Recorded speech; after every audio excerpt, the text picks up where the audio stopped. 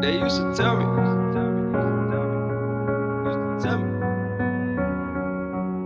I hope you learn to make it on your own. Hi, my name is Basubenge. We are here at North State Secondary High School, uh, Red Wings project for the Fabulous Female Congo. I'm a 2015 contestant from Miss Congo SA and also the Fabulous Female Ambassador. So yeah, we're here to off the sanitary pads and make some ladies fabulous. One could change the world.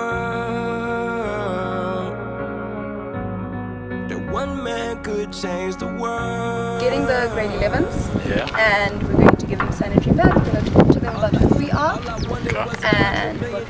We will be talking them through menstruation and periods and giving them, you know, interacting with the, with the students. Educating. Yes, um, boys and girls included. Dreaming so hard, so nice, it felt like draft day, you know.